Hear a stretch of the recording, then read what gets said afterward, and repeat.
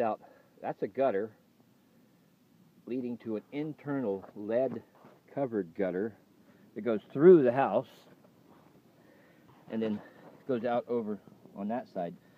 And I'm here to unblock it basically. We think this this section was done in about 1953 but I'm in a house that um, in theory who is that Yorkshire highwayman?